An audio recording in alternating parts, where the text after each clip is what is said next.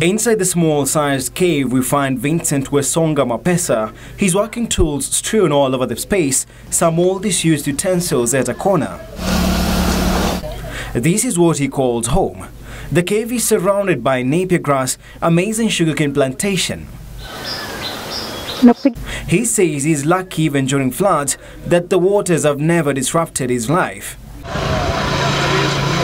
Famously known as Mejja White, Vincent Wesonga Mapesa, who has two grown children, lives alone while his two children and their mother live elsewhere. To reduce any possibility of water seeping through, he dug a 3.5 meters deep tunnel that channels water to divert water from his house. This cave has four corners with no window, but it has a makeshift door. He uses a black nylon paper during night. He sleeps on a bed made of mud. The talented man engages in sculpturing for a living. Even though he owns a large piece of land, he says he will not abandon the cave. Regardless of the dire circumstances that he exposes himself to, the caveman insists that the raw materials that he would need to build his dream house are only available abroad. From there, uh, now they stopped paying me, paying me, and now I continue working without any pay. That is uh, the problem affected my home. Na wakulipwa walipwe au tutaendelea tu kuishi hivyo, na hiyo ndio kitu inafanya sisi hatuwezi jenga maboma yetu kwa Number 2 eh, there was a, a wild animal attack. That's why he will not be moving anytime soon. The Older Persons Cash Transfer Program, or PCT, was initiated in 2007. The program focuses on providing cash transfers to poor households who have at least one member above the age of 65 years.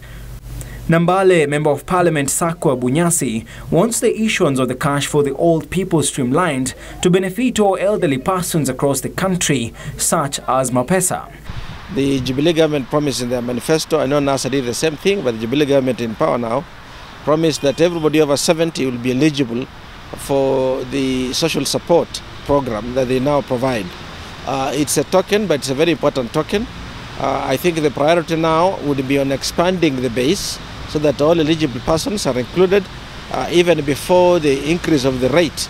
If both could be done at the same time, it would be good. But uh, I think the urgent thing uh, would be to expand the base, let everybody who is 70 and above, as has been now stated, and is in need, uh, be included.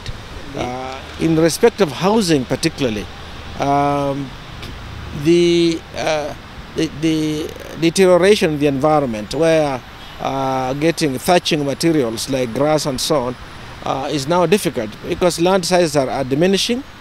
Um, there is no community policy that would be able to protect common grazing areas because all lands belong to individuals and it's an individual sacrifice if you wanted to protect particular area and even if they did uh, then it would be charged for because there is an opportunity cost uh, for leaving areas to nature uh, so that people can be able to harvest grasses for thatching and so on.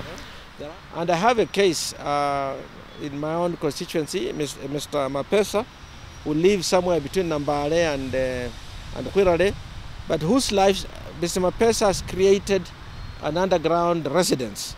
And he has had this for maybe as long as I have known about it, at least 10 years, no, more than 10 years. Uh, in 2006, when I entered politics, uh, I knew of, of, him, I know his family, uh, but that's a, a lifestyle choice. Uh, somebody who has access to property. He could live a different style, but he chose that style.